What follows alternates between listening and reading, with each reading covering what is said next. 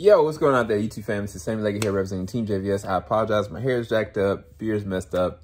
Um, I just got done looking at the Sonic trailer, which is freaking awesome. Just got done looking at the Boys teaser trailer, which is equally as epic. Uh, now I'm about to check out the Miss Marvel official trailer that just came out maybe less than an hour ago. Um, make sure you like, subscribe, hit that bell button. Depending on, I don't know if I'm going to do a second run through with this one. Um, I think it's going to be just one reaction. So I'm gonna focus in, hone in, and just give you guys my thoughts like after the fact. Um, because this one, I mean, I don't know how accurate they're gonna get with it. Uh, if you know understand what I mean by that. Hold on, here we go. Don't say we didn't warn you. Whoa, what, where was that? Oh, commercial. Here we go.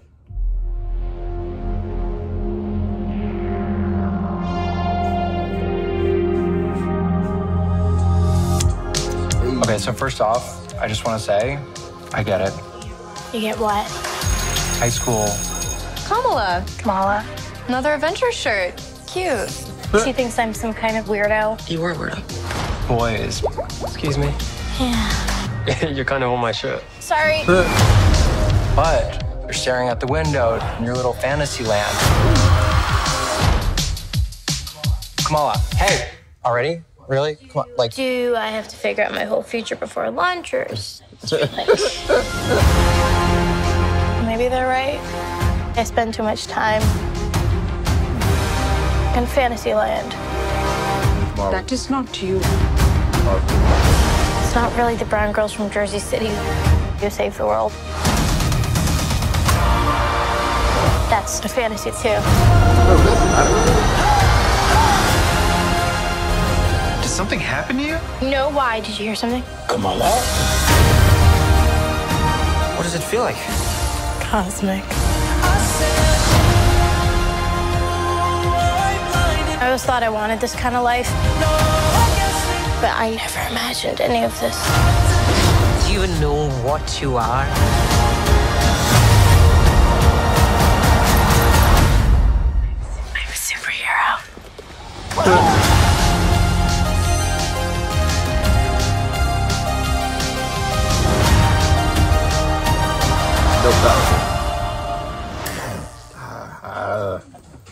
I kind of want to go back through it because there was a shot where she's talking to somebody. Um, let's see if I can find the exact moment where she's kind of like she's porched over next to somebody. Okay, that's not. I thought it was Peter Parker for a second, but it's not. So, concept is is spot on. I mean, everything seems like it's gonna work fluidly, and the fact it's a series, it can it could actually work really well. Uh, wait, it is a series, right? It's not a movie, right? Is it? I thought it was a. I thought it was a series. Is it a movie? Is is Miss Marvel a movie? Yeah, yeah, yeah. It's a, it's a series. It's a series. Okay.